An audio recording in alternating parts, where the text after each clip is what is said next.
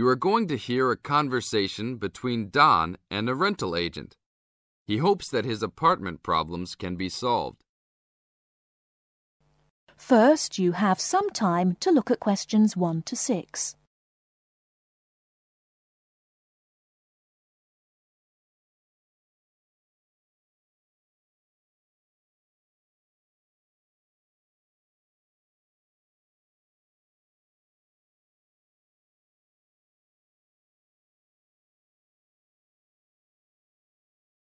We shall begin.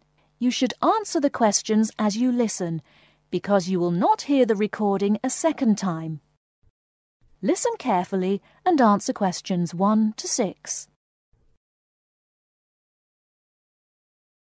Good morning. I am a rental agency. How can I help? Oh, hello. I'm ringing about some problems I'm having with my apartment. Yes, of course. If I can just get a few details first. What's your name? Don Chester. How do you spell that? C H E S T E R. Okay. And the address? Apartment 4, 18 Ruby Lane, Ruby Lane. And that's in. in Newbridge. Oh, yes, I know the one. Could I ask how long is the lease? It's for a year, And you moved in on. last week, on 24th May. Good, thanks. Now, what are the problems you found? Well, nothing too serious, you know, but a few things that have been building up over a few days. Yes, of course. Well, the first thing is the fridge. The seal on the door is decayed, and we have a small child and need to keep milk cool, so we need to get that done straight away. Okay, that's the fridge for immediate repair. And then there's a little problem with the gas water heater. Uh huh. The switch is broken. Right. It's not serious and we can still use it. But if you can send somebody over in the next couple of weeks or so, that'd be great. Okay, I've got that. Then we're worried about the front windows. Are they broken? No, but there are no blinds on them. And you know, with privacy these days. And when would you like those done? Oh, it's not really urgent. But there are only thin curtains on the windows, and people are walking past. Yes, we'll have those done for you by next week, don't worry.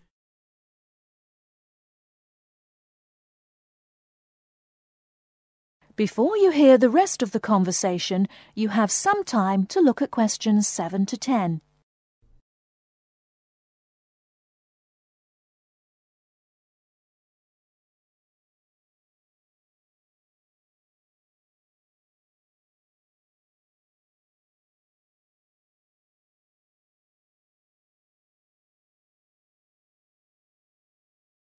Now listen and answer questions 7 to 10. There are only thin curtains on the windows, and people are walking past. Yes, we'll have those done for you by next week, don't worry. And then there's the front door lock. It's getting quite annoying. It often jams, and we sometimes have to fiddle with it for minutes before we can get in the apartment. I'd really like to get that fixed up right away. That's no problem. And then the last thing is the shower curtain. It's torn. Oh, right. We can get a new one and have it to you in the next week, if that's all right with you. Yes, that's okay. Anything else? No, that's all. Okay, fine. What we'll do now is get someone over to you this afternoon if you're home. Well, I'll be out for a short while. Okay. Tell us your preferred times. Well, the best time is about two o'clock. I'd have to check that with him. And if he can't get there then, what would be your second preference? Oh, any time up to 6 p.m. would be fine. Okay, I've got that. Great. Thanks very much. That's fine. Thank you for calling. Goodbye. Goodbye. That is the end of part one. You now have half a minute to check your answers.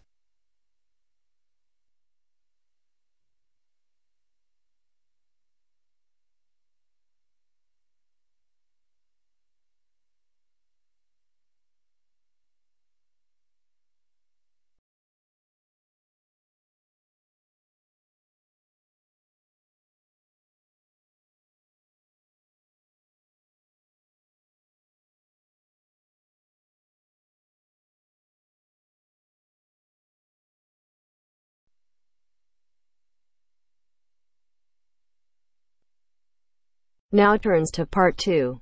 Part 2. You will hear a recorded message giving information about an animal park. First, you will have some time to look at questions 11 to 15.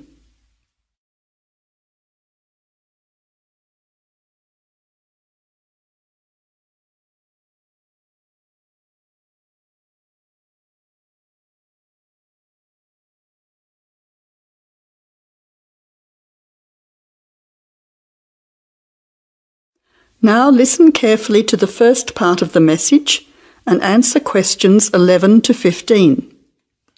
Welcome to the Australian Wildlife Park Information Line.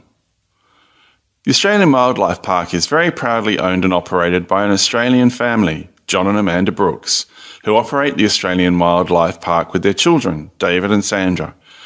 The family doesn't receive any government assistance. It's solely funded by tourists visiting the park Thank you for your support and assistance. When the Brooks family purchased the Australian Wildlife Park in 1987, the park housed a small collection of animals and birds on a modest 5 acre or 2 hectare property. A few years later, the park doubled in size when the family purchased the adjoining property. Also, the collection of animals started to boom, in May 2003, the family designed and built a new park in the public open space. Once again, more than doubling in size. The park now features about 200 species with more than 2,000 head of animals, birds, and reptiles. Regarding the entry fee, adults pay $23, children aged 3 to 14 pay $10, age pensioners are $17, and students are $16. One of the great things about the Australian Wildlife Park is that all of the attractions are included in the entry fee. No extra money is needed around the park, so make the most of your experience. All shows, talks, photo opportunities, and animal food are included in your entry fee. In addition, the Australian Wildlife Park is open every day of the year from 9am to 5.30pm, except Christmas Day, 25th of December. Before the final part of the message, you now have 20 seconds to look at questions 16 to 20.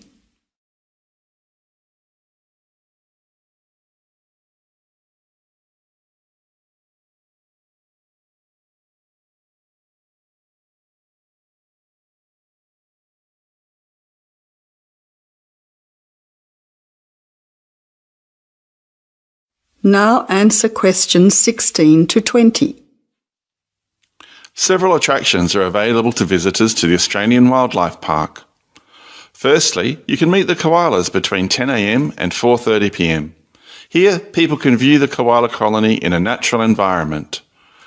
Another attraction is to feed the kangaroos between 9am and 5.30pm. Visitors can take a walk through the kangaroo enclosure, viewing them in a natural environment. Kangaroo food is provided and the kangaroos are very friendly. Also enjoyable are the wombats. At 11am, 2pm, and 3.45pm, there are interactive shows where the team is delighted to introduce you to these popular animals. Other attractions that may interest you are an interactive farmyard, suitable for children of all ages. Animal food is provided, and the animals are very friendly. In addition, the working farm is where the country comes to town. Visitors can milk a cow, bottle feed a lamb, watch farm dogs gathering the sheep. All the excitement of a real Australian farm. When they ask for volunteers, be sure to put your hand up. Everyone can get involved. We at the Australian Wildlife Park hope all our visitors have an enjoyable time. See you soon! That is the end of part two. You now have half a minute to check your answers.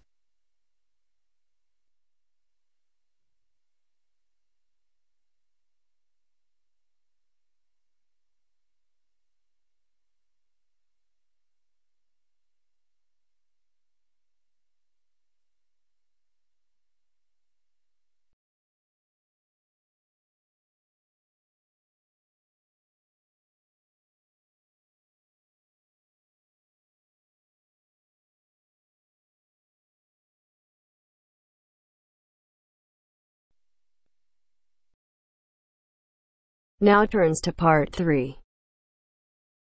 Part 3 You will hear a phone conversation giving information about a health and fitness centre. First, you have some time to look at questions 21 to 26.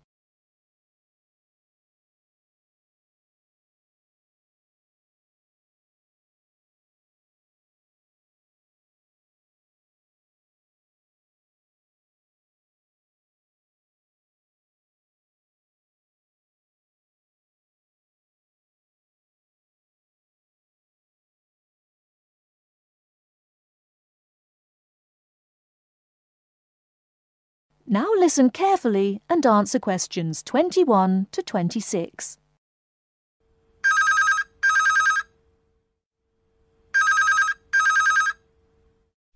Hello? Hello, is that Miss Heidi Jones? Yes? Good morning, Miss Jones. I'd like to take a few minutes of your time to tell you about the Seven Oaks Health and Fitness Centre, which is in your suburb. Would that be convenient? Okay. Well, the centre's not far from you. It's on the corner of Marion Street and Giles Street and has a large car park. It's open every day of the week, opening on weekdays at 6am and at 9am at the weekend. It closes at 9:30 p.m. Monday to Friday and on Saturday at 4 p.m. and Sunday at 2 p.m.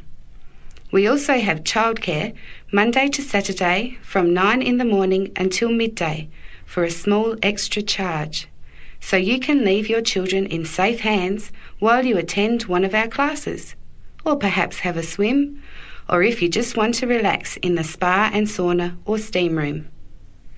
Talking of classes, we have a very wide range which are designed to suit all different levels of fitness and individual needs. I mentioned the pool just now. Well, in addition to swimming laps or just relaxing, we also offer aqua aerobic classes, which are 45 minute classes that use the therapeutic effects of water. This provides a very safe and effective exercise and is suitable for all fitness levels, as well as being a lot of fun. Many people who haven't been exercising for a while start in the aqua classes, as do people who need to take care after hospital surgery, for example. These classes are very popular and are scheduled every weekday, Monday to Friday, and on Saturday afternoon and Sunday morning. Another very popular activity in the pool area is learning to swim, and these swimming classes are held at 4 pm every weekday and in the mornings at the weekend. By the way, they're open to both adults and children of any age.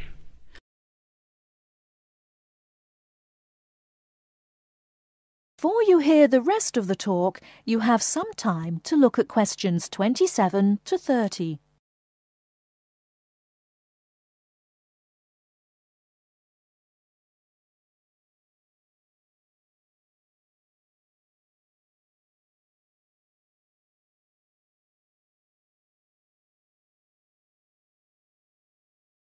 Now listen and answer questions 27 to 30. Now, it would take too much of your time to tell you in detail about all our programs, as we have a very wide range of activities at different times. However, I'll just outline some of them. Our super circuit classes are extremely popular, and you get a good aerobic workout while toning your muscles. They're easy to learn as you combine using hydraulic equipment with exercises guaranteed to give you a good cardio workout. The teachers are very good and there's a fun atmosphere. And the classes are very effective in assisting weight loss, relieving stress, lowering blood pressure, and generally increasing fitness.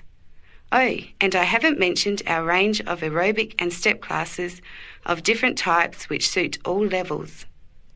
Our specially designed aerobics room holds over 55 people, and our highly qualified and trained staff can advise you as to which class might suit you.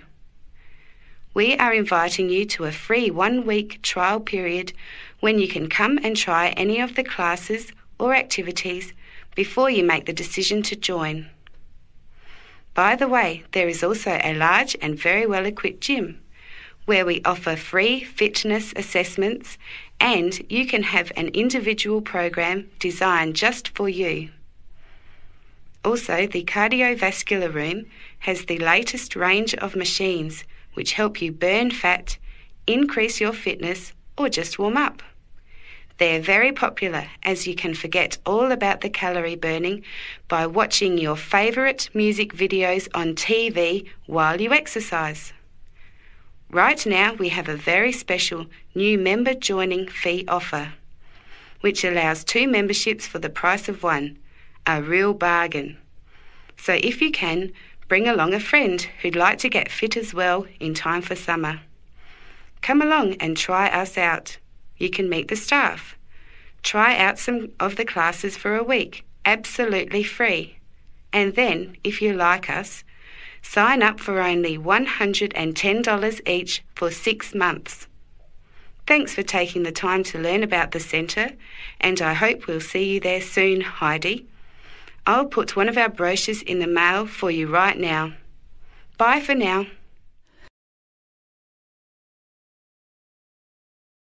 That is the end of part three.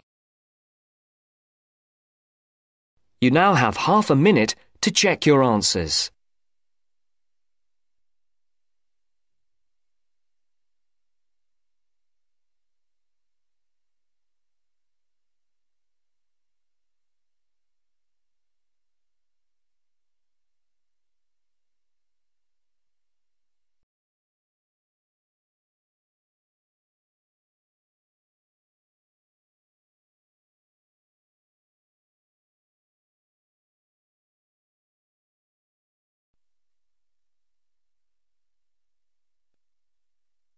Now turns to part four.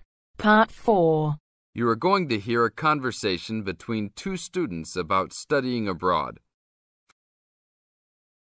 First, you have some time to look at questions 31 to 40.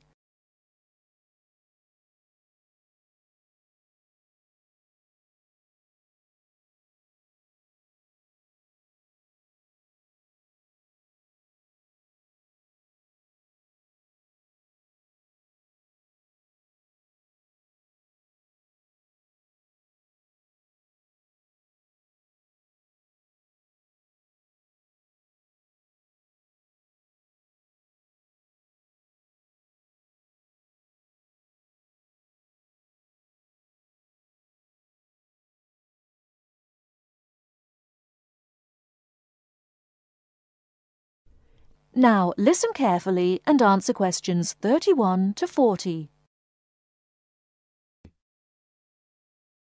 Hey Mary, how's school going? Haven't seen you in a while. What have you been up to? John, good to see you again. I've been really busy the last couple of weeks. I'm applying to study abroad next year. Really? So am I. I think it will be a great experience to be able to study in another country. What country do you want to go to? At first, I wanted to study in Africa, but my parents really don't want me to go there because they think it will be dangerous. So now I'm thinking about going to Spain, Italy, or Japan. Actually, I think Africa would be a fascinating place. I would want to go there to visit. Maybe not to study, but definitely I would want to go visit. For next year, I want to go to either China or Germany to study.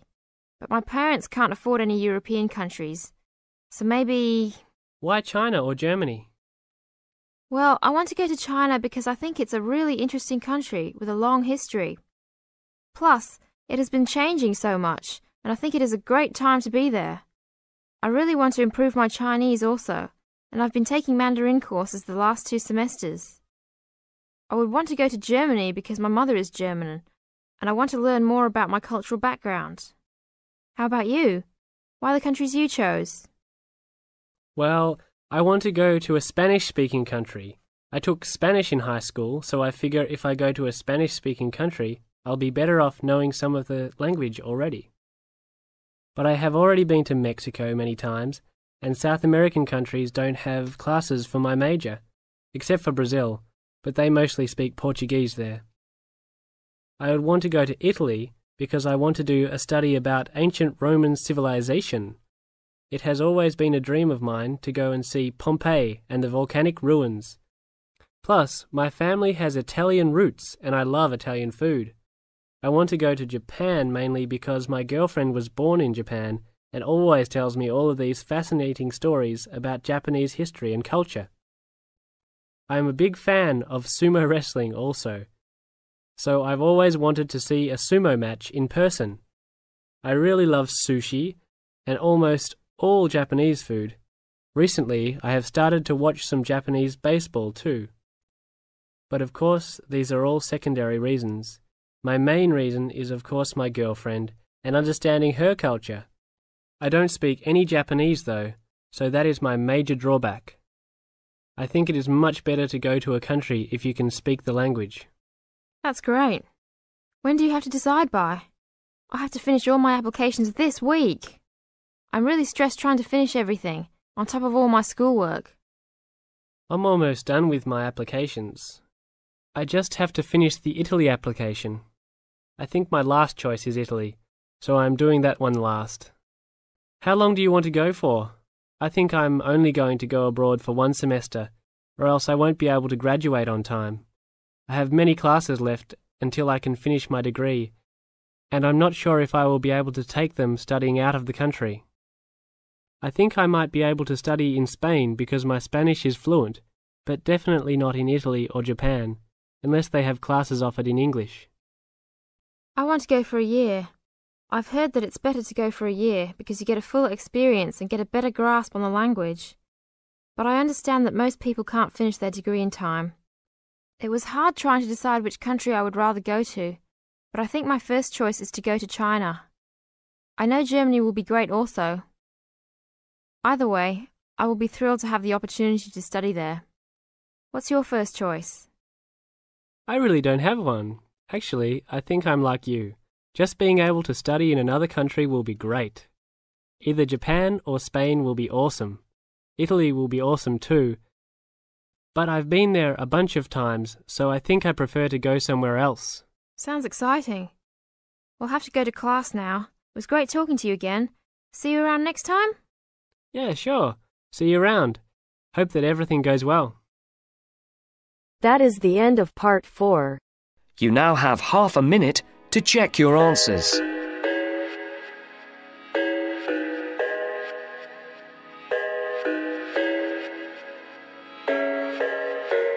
I thought I had it figured out. Believed in us, we were meant to be, no doubt.